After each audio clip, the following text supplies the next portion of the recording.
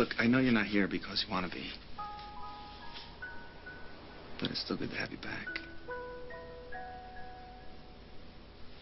Oh. Forgot. Um.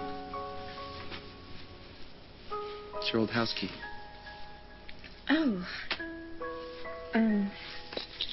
Well, I guess. I don't need these anymore. I should give them back to Ben. Well, maybe you should hang on to them in case you left something over there. I didn't leave anything there. Except for my heart.